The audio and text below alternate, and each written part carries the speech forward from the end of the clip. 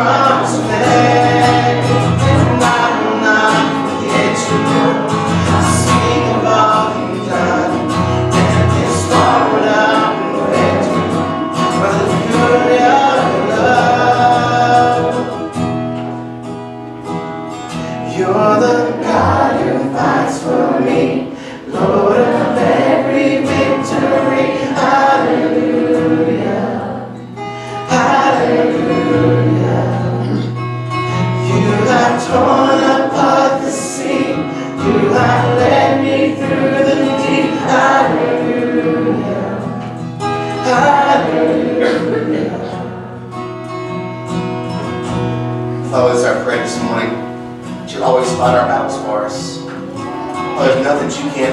nothing you can't defeat.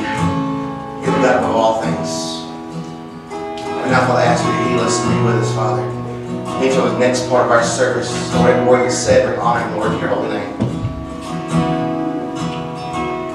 Show them God who fights for me, Lord of every victory. Hallelujah. Hallelujah. You have torn apart the sea. You have led me through the deep. Hallelujah. Hallelujah.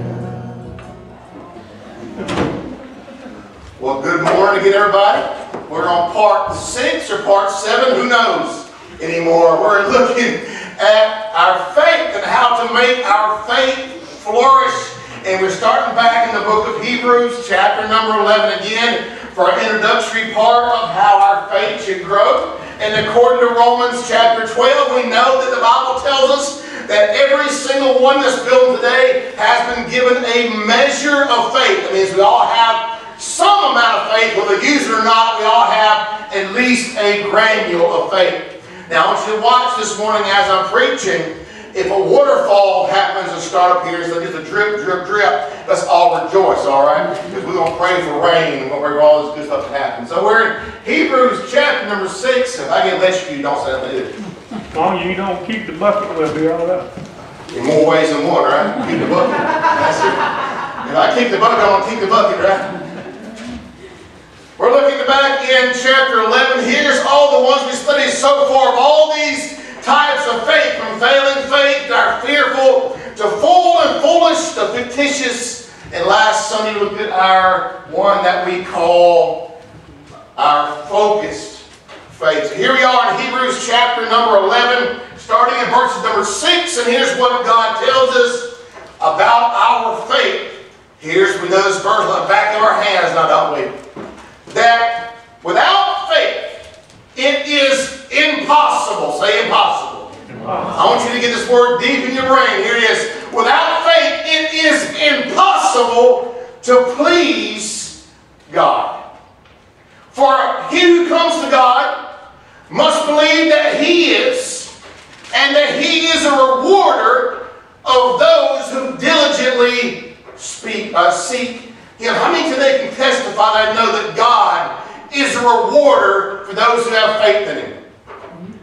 This past week was a pure proof of it. That we have faith in God and do miraculous things. Guess what God can do? And guess what God can still do?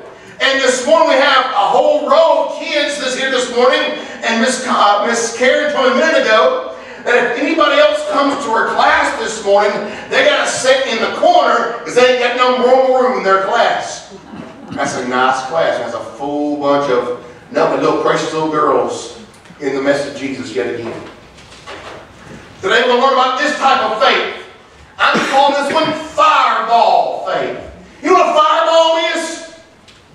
We'll learn here shortly. Let's look at the story of Moses and his family. Come on down to verses 23 in Hebrews 11. Here's what God tells us about Moses' family and this fireball type of faith. Verse 23. By faith, Moses, when he was born, was hidden three months by his parents. Now, whose faith is this mentioned here? Moses or his parents' faith?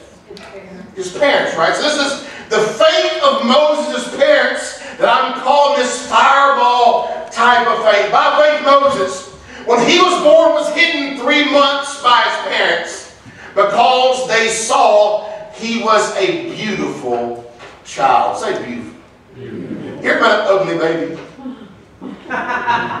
Don't lie. No. No. All babies are beautiful, right? All babies are beautiful. Now, this word here is extremely important to understand why she saw this baby. How many look at your look at your own child? Your child has just come out of the womb, is covered all that good, but still that's the most beautifulest child in the world, right? Right? Yeah. Absolutely. And your child grows, no matter how your child changes, your child will always be the most beautiful child in the world, ain't it right? I can promise you, my three girls are the most beautiful girls in the world. You don't believe me? Just ask me and I will tell you. Same thing with you. You believe your children are the most beautiful children in the world? You don't believe? Just ask them. You'll tell them. We believe our kids are something special. This word means something different than just the mother looking upon Moses and says, Ooh, that's a cute baby. I got to keep him. It means something a little different than that. And they were not afraid of the king's command. Now, our story pretty much, our sermon pretty much takes place in Hebrews, but I want you to see where the story officially starts. So it starts in the book of Exodus, chapter 1. And here's what's happened in the book of Exodus, chapter 1.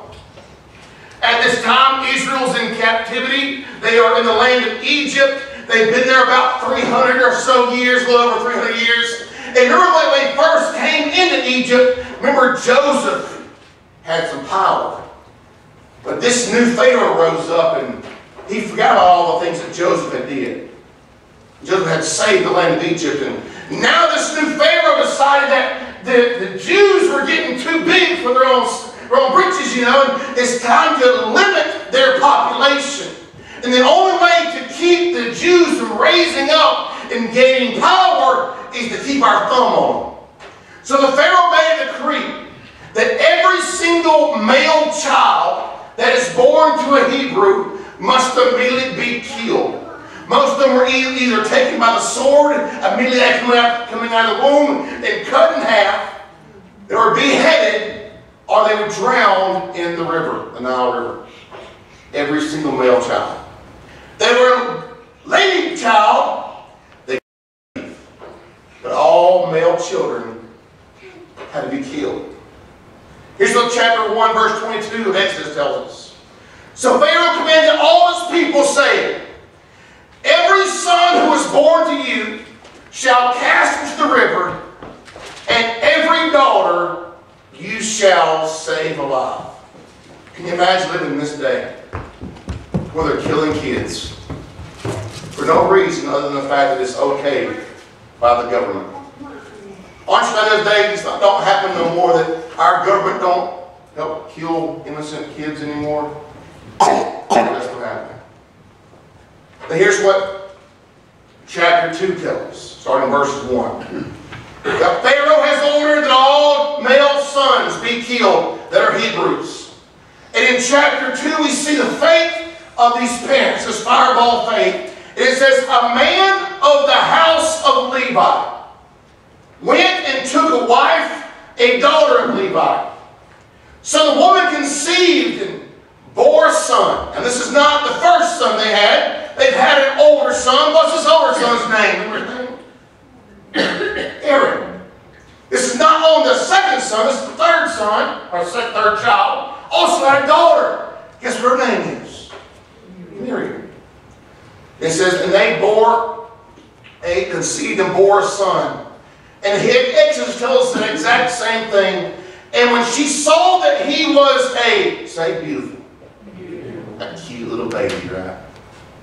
a beautiful child. She hid him three months. Now, many of you ladies have had children. How many can hide a three-month-old child in your house without anybody knowing? Anybody? Babies, babies do something very, very good. They love to sleep. Amen. Praise God for that. But sometimes they get hungry. And when they get hungry, what happens to them? They get fidgety. And they want to fight. And they start screaming and hollering. And especially those babies back in those days, even today, get a little colicky. They just non-stop scream. But for three months, she was able to hide this baby in her own house. But it says in verse 3, but when she no longer could hide him, she took an ark of bulrushes of him for him, daubed it with asphalt and pitch. Now she got an ark, dabbed in pitch. Sound familiar? What did Noah make his ark out of? Wood, daubed in pitch, right? And she took an ark bulrush for him down to an asphalt pitch, put the child in it, and laid the reeds by the river, laid the river by the reeds by the river's bank. Let's look at this fireball type of faith. What is fireball faith? Here's the biblical definition of it. It means a determined faith that will stop at nothing to achieve the desired effect. Fireball faith is when somebody can't do it. Fireball faith says, yes, my God can. Fireball faith says when somebody says, well, God may not work like that when you still say, I'm still going to pray. Fireball faith says when things aren't going your way, I'm still going to keep on worshiping because I believe God hears the prayers of his children. Fireball faith never gives up ever on God. Let's be honest. How many people in this room today have been let down by somebody? Nobody ever raised their hands. Everybody try it again. How many folks have been let down by somebody? Now point to the person that let you down. Point to them. and it's easy to lose faith in a person because people let us down, right? But God doesn't work that way. In that fireball faith, we simply say God is who God is. He can never let us down and put our full faith and trust.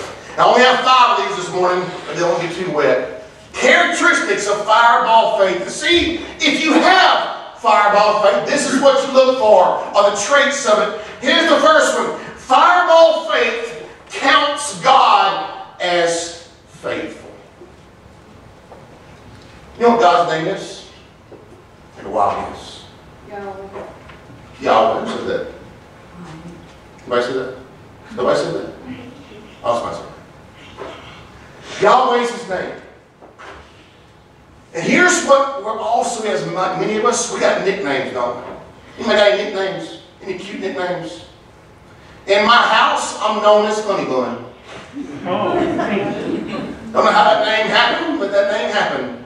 And when I was, was growing up, the kids were growing up, Jesse one time says, Daniel, and Charity says, that's not his name, his name is Honey Bun, so please call him Honey Bun. So that name's always been sticking around forever and ever and ever. But even God's got a few nicknames. And every name defines who he is. Like this one. And this is what you got to believe God is. First is Jehovah Ezra, which means God is your helper. You believe God's your helper? Not everybody said that. You believe God's really your helper? How about Jehovah Jireh? God is your provider. No matter what you're going, not just financially, it's not about that. But God provides all your needs because you are His children and takes watch for you. God is our Jehovah Jireh. When we say we count God as faithful, we believe that God is Jehovah Jireh and that He always is providing for His children. How about Jehovah Rapha, which means God is my shepherd. You believe that? He's one that leads us and directs us and guides us. He's one prepares a way for us to go. How about Jehovah Rapha? Which means God is my healer. Amen. Believe God's your healer. Amen. It's not just about spiritual help. Or not just about physical help or sickness. But also when your family's falling apart, God can still heal it, right? Or your church is falling apart, God can still heal it. Or your workplace or your career is falling apart, God is still the God who can heal anything. Right? And we say, God, I have fireball faith, we're saying, God, you have the power for all things. I want to believe that you have the power to do it all. I'm putting my faith in you to do it. That's called fireball faith. Here's secondly. Fireball faith lives by what they cannot see. Let's be honest, in this world today, we live by sight, don't we? We only believe what we can see. But true faith, the Bible says, is believing what we can't see. That's true faith. We walk by faith, not by sight. I want to share a story with you happened about five months ago. This is not to pick on anybody, or not to brag upon anybody, but to express the truth. It happened about what was going to happen last week. The question was asked me, how good do you think our VBS is going to be this year? That was the question. We had a little conversation about it, and I said, we probably, my faith said we probably have 25 or so. But I said, I'm believing for 50. They said, 50? Can you imagine that 50 kids here, what happened? And then I got news this past week, y'all. And it's in, in a good way, in a good way. Listen to this. This past week during VBS, we went over our budget for VBS. We did. You know what I say to that? Praise God. that we went over our budget. That means we had so many kids here today, this past week. We had to come up and aren't you glad also God has been taking care of us for the past few years and our bank account's not in the negative and we're fine. God, we're financially stable as a church and this year went over our budget. Thank God we could do that. And usually we only have one class, so we could have three. Usually we have about 20 meals prepared. Wednesday night we had over what 120 people here. Wednesday night we had to feed all those folks. And praise God, they were all here. Because guess what they got to hear? They got to hear they were loved. And somebody out this world loves them. And remember that little story says here, that word beautiful child?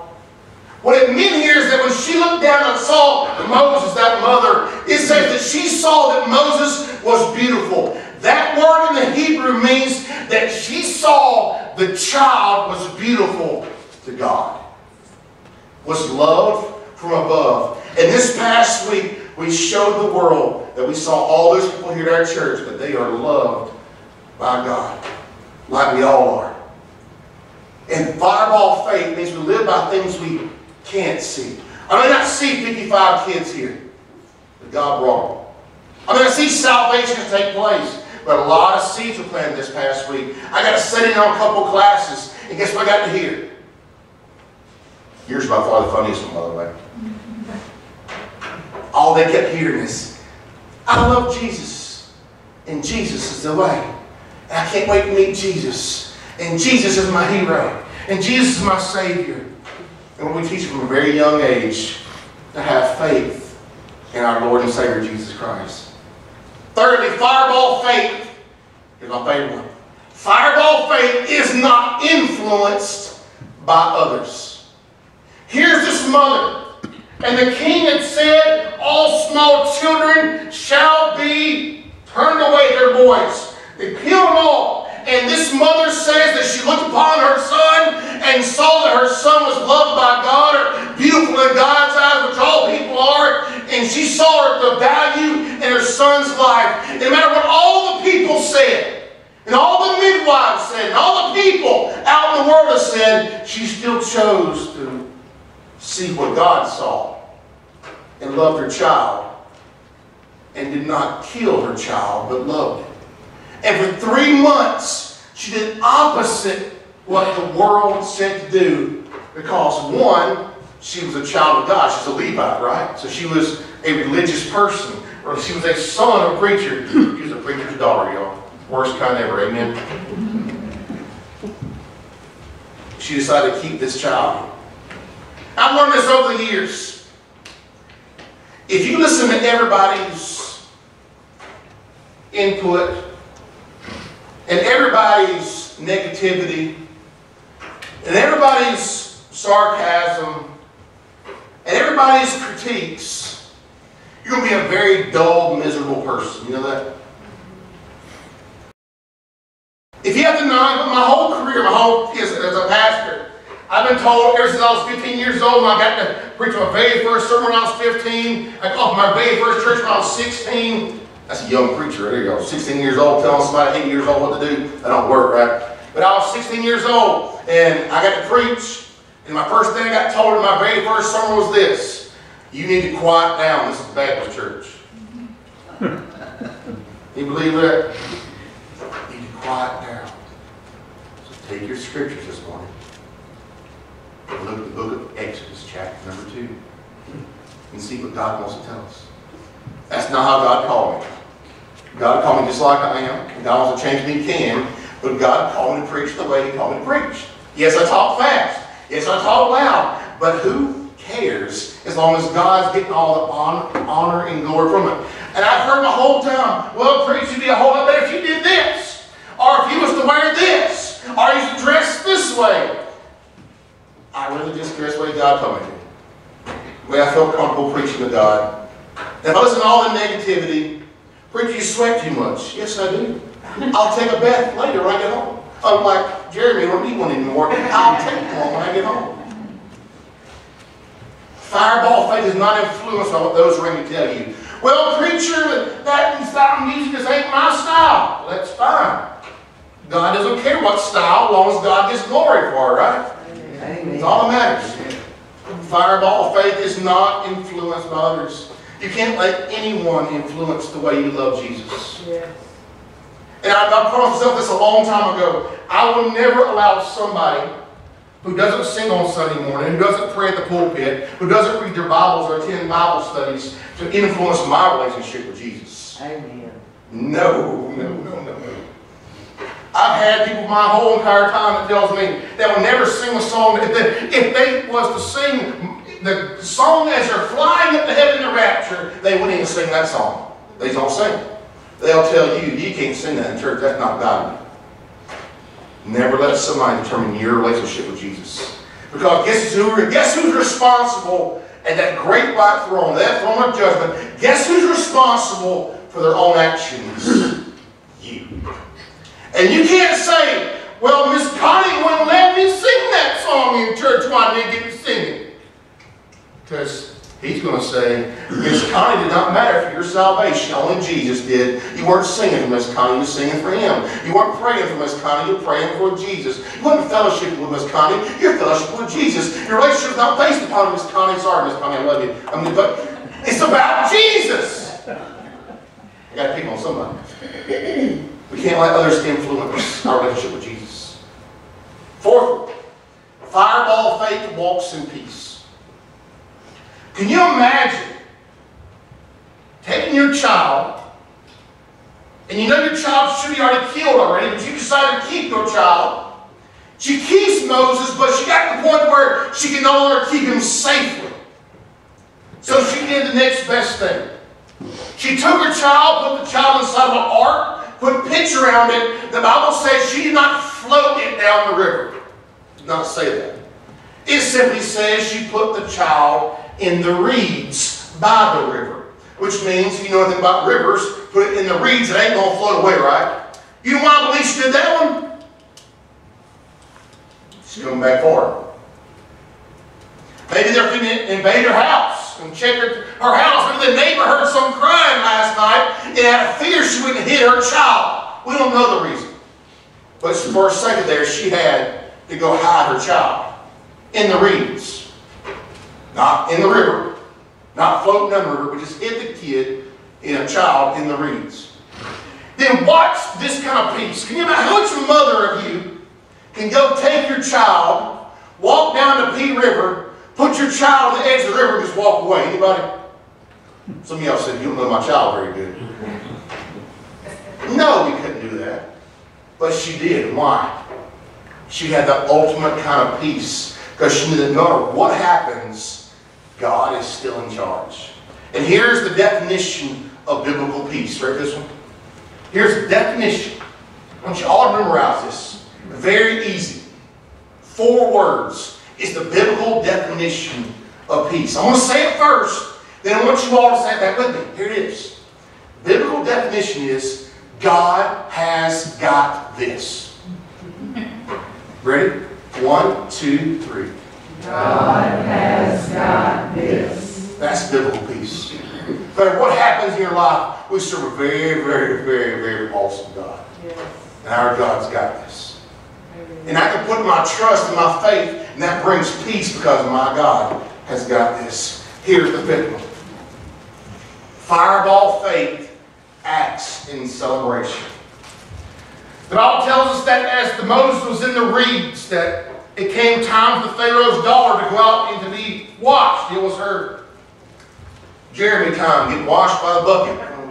And she's going out and she goes to get washed in the river, and her servants walk along the riverbed. The Bible says that as she is bathing, she sees the small basket over in the reeds and asks the maidens to grab the basket. And as she opens the basket up, immediately the baby starts crying. Obviously, she was an ugly woman, amen? Just, just.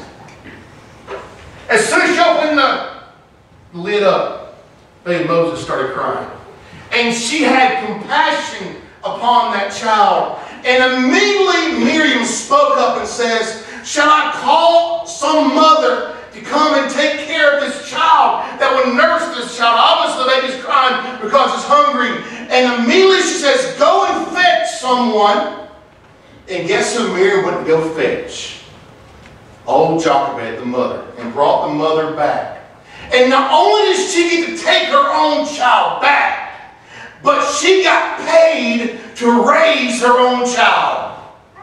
That's pretty nice, ain't it? And she had to raise her child. I've got to hear, hear many commentaries talk about that she raised the child just the time that he was nursed. And then she brought the little baby back and said, Here you go, Pharaoh's wife. That's not what's actually taught in many cultures. Actually, it's taught that, that she kept the child until he was 12 years old and raised that child in her home, and the child became a man. He then took them back to Pharaoh's house. I'm believing that a little bit better. That she raised her child. Because if not, how would that man named Moses know anything about God in Egyptian culture? He was raised up knowing about who God was and developed a relationship with God at a very, very young age. When he got older, he saw the cruelties taking place to whose people? Says God's people. He had a knowledge of who God is. And not many, many babies who are one years old, two years old, have a knowledge of who God is. But obviously he knew. He didn't learn that in Egyptian culture. He learned that because of the faith of mama who raised him. And she raised her child upright. She celebrated him. And she taught him how to handle it. We run out of time. I got two more points. I'm going to hold them for next week, though. Here's the question for us. How many of you have fireball faith? Yeah, we have flourishing faith. Have faith that's full, or your fleeting faith. Fireball faith simply says, the whole definition of fireball faith is that we believe that our God can do exactly as God promised. And there's no wavering. When our God said He's coming back for us, I believe that. My God says that He died as a substitute for our sins, I believe that. He died to take my place, I believe that. If I confess Him, I'll be saved, I believe that. That's called fireball faith. And nothing can deter that. How about you this morning? Let's pray.